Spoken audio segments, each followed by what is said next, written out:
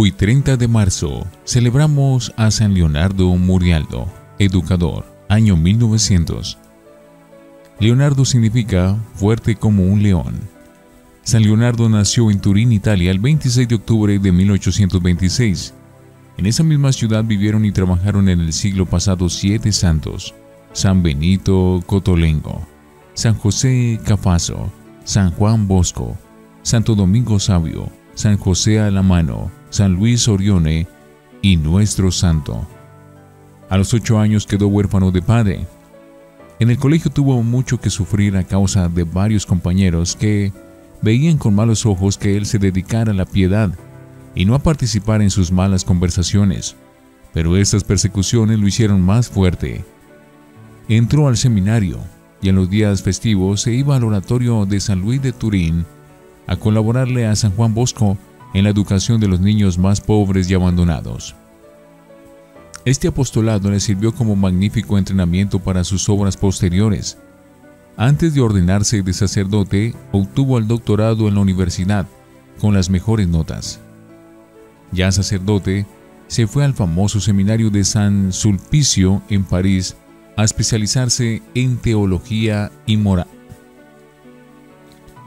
Vuelto a su ciudad de Turín, lo nombraron rector del Colegio de los Artesanitos, una obra social dedicada a recoger y educar a los niños más pobres y necesitados. Allí pasará los últimos 34 años de su vida, entre penurias económicas, pero salvando miles de almas. A quienes le decían que, siendo él de familia acomodada, podría dedicarse a labores menos penosas y desgastadoras, les respondía, No me hice sacerdote para pasarla bien y descansar, sino para trabajar y desgastarme por las almas. Todo el dinero de su herencia lo gastó en educar niños pobres. Leonardo se fue rodeando de colaboradores que lo ayudaron a la educación de sus artesanitos, y con los cuales fundó después su congregación. Y cuando los dineros de su herencia se le acabaron, se dedicó a pedir a los ricos para ayudar a los más pobres. Santo atrevimiento. Cuando las deudas de su colegio de artesanitos habían llegado a un grado monstruoso y peligroso, y todos le aconsejaban que cerrara aquella obra, llegó una mamá con dos niñitos huérfanos de padre y en situación de extrema pobreza. Leonardo los recibió gratuitamente, aumentando así el número de los que tenían que ser alimentados en una casa asediada por las deudas. Pero Dios le premió este santo atrevimiento e inspiró al conde de Guarene que le dejara al santo su herencia, y así se pagaron las deudas y se pudo seguir atendiendo a los pobres huérfanos. Bajo su dirección, el Colegio de los Artesanitos llegó a ser una obra modelo en educación. Leonardo organizó 12 talleres eh, para preparar técnicamente a los jóvenes. Luego fundó una escuela agronómica y una casa para reeducar a jóvenes delincuentes. Más tarde fundó un colegio de estudios superiores para formar a quienes deseaban ser sacerdotes. Aconsejado por San Juan Bosco y por otros santos sacerdotes, fundó la comunidad de los Josefinos, o religiosos de San José, para educar a jóvenes pobres. Prodigiosa actividad. San Leonardo se dedicó con todas sus fuerzas a colaborar en la organización de grandes congresos de líderes católicos, en aquel tiempo en que los gobiernos perseguían ferozmente a la iglesia. Organizó también las bibliotecas católicas ambulantes para llevar las buenas lecturas a todos los rincones del país.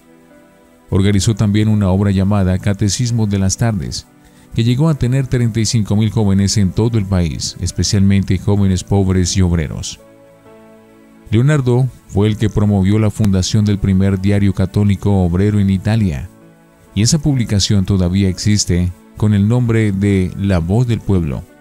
Organizó sindicatos de obreros católicos para conseguir que se hiciera justicia a los pobres, siguiendo las enseñanzas que dio el sumo pontífice León XIII en su famosa encíclica titulada Rerum Novarum.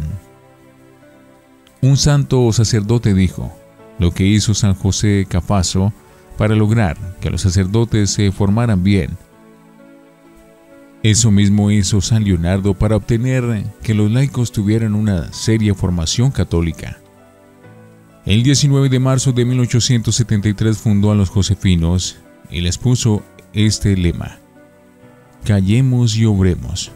Cuando su Coliseo de Artesanitos cumplió los 50 años de fundado, en 1899, el santo se vio rodeado de 400 antiguos alumnos que llegaron a demostrarle su aprecio y gratitud. Su lema. Desde niño, estudiante del colegio y después por toda su vida, Leonardo tuvo siempre un lema. Quiero santificarme y santificar a los demás. Quiero tener siempre contento a Dios. A él le sucedía como a los grandes sabios, que se consideraban siempre muy ignorantes y que se dan cuenta de que es mucho más lo que ignoran que lo que ya saben. Leonardo se consideró siempre terriblemente lejos de la santidad que deseaba conseguir. Pero no se desanimaba y seguía luchando para llegar a ser santo. Los medios para conseguir la santidad en su libreta de apuntes dejó escrito los medios para lograr conseguir la santidad. Primero, llenar mis días de muchas y pequeñas oraciones. Segundo, aprovechar mis males y enfermedades y hasta mis faltas y equivocaciones para humillarme más y pagarle a Dios mis pecados con esos sufrimientos. Tercero, como penitencia ofrecer a Dios hacer con la mayor diligencia mis trabajos de cada día y tratar de recibir a todos con la mayor bondad posible atender a todo el que venga con la más exquisita amabilidad.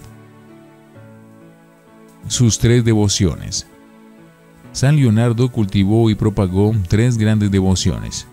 El Sagrado Corazón de Jesús, honrándolo especialmente en la Santa Hostia en la Eucaristía, la Santísima Virgen Inmaculada y San José, y estas devociones le hicieron mucho bien. El 30 de marzo de 1900, a la edad de 72 años, expiró santamente. Después de muerto consiguió de Dios bastantes milagros y el Santo Padre Pablo VI lo declaró santo en 1970. San Leonardo, Murialdo, alcánzanos de Dios un gran amor por Jesús en la Eucaristía y por María Inmaculada y San José. Bendice a los que trabajan por los niños pobres, por los obreros y por difundir las buenas lecturas y recuérdanos aquel consejo que tanto repetías. Es necesario empezar a conseguir la santidad, pero ya, desde ahora mismo, que así lo tratemos de hacer y así lo consigamos realizar. San Leonardo Murialdo, rogad por nosotros.